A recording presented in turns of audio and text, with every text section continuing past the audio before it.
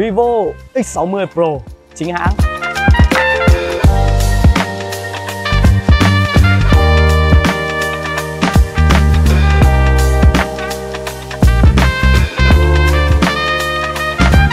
Mừng các bạn đã quay trở lại với kênh youtube của The Tech. Nếu như đây là lần đầu tiên các bạn đến với channel của mình thì hãy để lại một subscribe ủng hộ mình trong những video sắp tới. Hôm nay thì mình đang ngồi ở cà phê tinh tế nên là nó sẽ hơi ồn một chút, các bạn thông cảm nhá.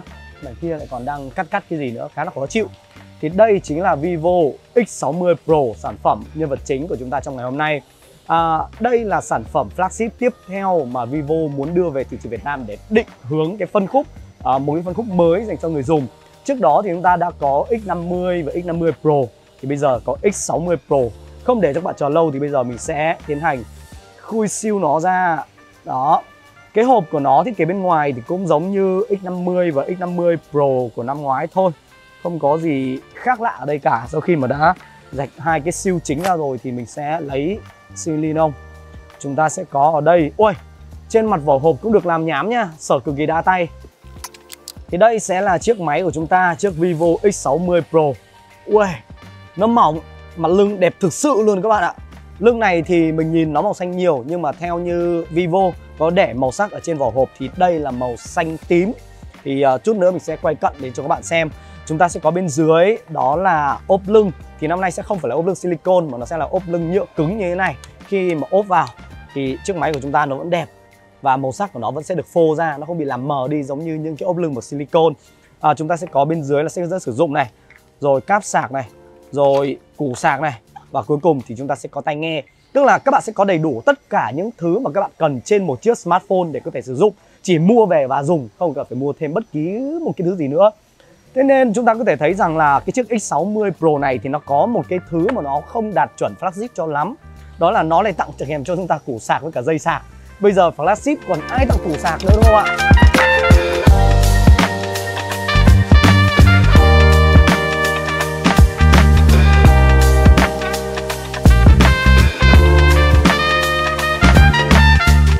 Tới với nhân vật chính của chúng ta ở đây, đó chính là chiếc Vivo X60 Pro thì các bạn có thể thấy rằng là nếu như nhìn tổng thể ở bên ngoài ấy, thì nó khá giống với chiếc X50 Pro mà năm ngoái chúng ta đã thấy. Thế nhưng nó cũng đã có những cái chi tiết được làm bo cong nó mềm mại hơn để giúp cho chúng ta có những cảm giác cầm nắm nó dễ chịu tay hơn.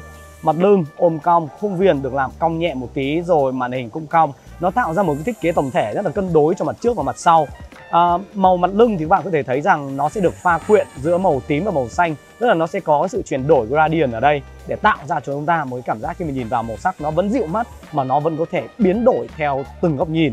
Ở bên trên chúng ta sẽ có cụm 3 camera. Nhưng tất nhiên thiết kế cụm camera này nó vẫn rất là quen thuộc bởi vì nó giống với cụm camera chúng ta đã thấy trên chiếc Vivo X50 Pro. Chúng ta có một cái camera chính to nằm ở chính giữa với độ phân giải là 48 megapixel, camera ultra wide 13 megapixel và cuối cùng là camera zoom quang 2x 13 megapixel để giúp cho các bạn có tất cả những chế độ chụp. À, mình chỉ cảm thấy nó hơi thiếu ở đây đấy là nó đã thiếu vắng đi cái cảm biến zoom tele 5x mà trước đây chúng ta đã từng thấy trên cái chiếc Vivo X50 Pro. À, và đến cái thế hệ X60 series thì các bạn phải mua X60 Pro Plus thì chúng ta mới có cái camera tele 5x nên là mình chưa hiểu tại sao Vivo lại cắt giảm ở cái sản phẩm à, Pro của chúng ta đi thì đây là một điểm mình mà mình hơi đáng buồn.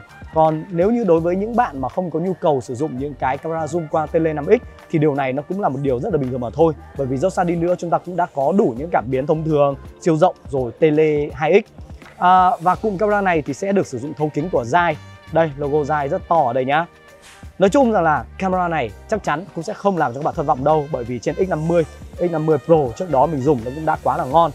Quay ra với phần mặt trước thì chúng ta sẽ có một cái màn hình cong với kích thước là 6.67 inch, độ phân giải là Full HD, tấm nền AMOLED và nó cũng sẽ hỗ trợ cho chúng ta số quét lên tới là 120 Hz. Tất nhiên thì đối với một sản phẩm uh, cao cấp ở nhà Vivo thì chúng ta cũng sẽ có đây là vân tay nhúng bên trong màn hình với tốc độ mở khóa rất là nhanh. Thì mình đang mở khóa lên cho các bạn xem đây. Trải nghiệm nhanh trước màn hình này thì độ sáng của nó rất tốt bởi vì hiện tại mình đang ngồi ở ngoài trời ở không gian cà phê của tinh tế và khi đây bóng cây rồi ánh sáng chiếu xuống thì mình vẫn có thể nhìn rất là tốt, tương phản cũng ngon, góc nhìn rộng. À, tất nhiên đối với những cái tấm nền AMOLED thì góc nhìn chưa bao giờ là cái điểm yếu của nó cả. Rồi cho tới những thứ khác, ví dụ như là những cái thao tác khi mà chúng ta vuốt chạm cực kỳ mượt 120 Hz không có điểm gì để chê.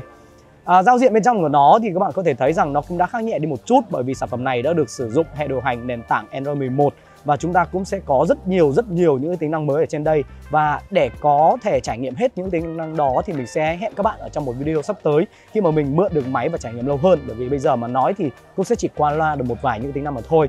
À, giao diện camera thì nó cũng không có điểm gì khác biệt. Chúng ta vẫn sẽ có những cái uh, thao tác để có thể chuyển qua những tính năng nó rất là trực quan dễ dùng. À, camera thì cũng có thể chuyển đổi qua góc siêu rộng 0.6x hay là camera zoom 2x và chúng ta cũng có những tính năng như chụp chân dung này các bạn cũng sẽ có chụp đêm night mode và chúng ta cũng sẽ có rất rất nhiều, ví dụ như chụp ảnh 48 megapixel, chụp siêu trăng, hay là chúng ta cũng có thể chụp ảnh thủ công, hoàn toàn bình thường qua video trên sản phẩm này thì chúng ta cũng có ở đây là tính năng chống rung, siêu chống rung và chống rung tiêu chuẩn thì tùy theo các bạn muốn cái khả năng chống rung của nó như thế nào. À, bởi vì trên X50 và X50 Pro vốn dĩ thì cái tính năng chống rung của nó đã rất là tốt rồi. Thế nên trên sản phẩm này thì mình hy vọng rằng là Vivo có thể đưa nó lên một cái tầm cao mới à, chống rung còn tốt hơn nữa thì khi đó người dùng sẽ có những trải nghiệm tuyệt vời hơn khi mà sử dụng sản phẩm để có thể à, mang đi quay vlog đời sống hàng ngày. Đó là những chia sẻ của mình. Còn về độ phân giải của video thì chúng ta sẽ có đây là tốc độ khung hình tối đa là 60 fps. À, độ phân giải thì có thể đẩy lên là 4K và khi chúng ta để là 4K thì vẫn có thể quay được 60 fps và hoàn toàn vẫn có thể bật được siêu chống rung. À nhưng mà siêu chống rung này hình như sẽ chỉ hoạt động ở trên à, độ phân giải là Full HD nha các bạn. Bởi vì mình bật siêu chống rung lên thì nó sẽ tắt cái phần độ phân giải đi không cho chúng ta có thể chỉnh nữa.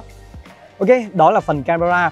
Tới với cấu hình hiệu năng thì nhiều bạn sẽ hơi uh, tỏ ra tiếc một chút bởi vì sản phẩm này sẽ dùng con chip là Snapdragon 870 chúng ta có 12GB thế nhưng nếu như các bạn muốn có Snapdragon 888 thì chúng ta cũng có thể lựa chọn phiên bản X60 Pro Plus. Nhưng cá nhân mình nhận thấy việc trang bị con chip Snapdragon 870 lên một chiếc máy mỏng như thế này nó là một cái điều uh, hợp lý hơn bởi vì sao? Bởi vì bản thân mình sử dụng qua đã khá nhiều những sản phẩm sử dụng con chip Snapdragon 888 thì mình thấy rằng cái việc tản nhiệt trên con chip Snapdragon 888 của những chiếc smartphone uh, mỏng nhẹ nó vẫn chưa thực sự hiệu quả. Ví dụ như ở đây thì mình cũng đã có chiếc uh, Mi 11 đang sử dụng Snapdragon 888 và mình cũng đã sử dụng test game trên cái chiếc à, uh, K40 Pro sử dụng 888 thì việc quá nhiệt xảy ra là thường xuyên, chơi game nặng chỉ khoảng tầm 5 cho tới 10 phút là chúng ta đã đạt mức nhiệt độ lên tới là 45 cho tới 46 độ.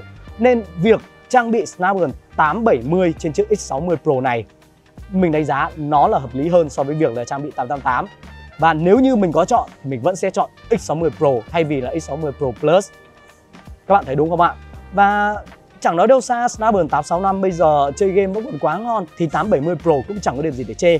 Chúng ta vẫn sẽ có thể sử dụng được 5G trên sản phẩm này và trong video sắp tới mình cũng sẽ có những video test 5G trên sản phẩm X60 Pro 5G cùng với một số những sản phẩm khác để so sánh tốc độ để cho bạn xem là sản phẩm này nó sẽ như thế nào nhá.